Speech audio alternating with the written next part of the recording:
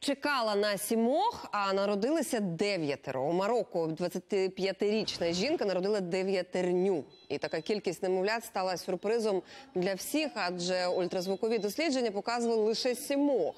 Пологи відбулися дочасно на 30-му тижні за допомогою кесаревого розтину. Щаслива матуся, це громадянка Малі, однієї з найбідніших країн світу. Всі дев'ятеро крихіток і породілля нині почуваються добре і за кілька тижнів поїдуть додому.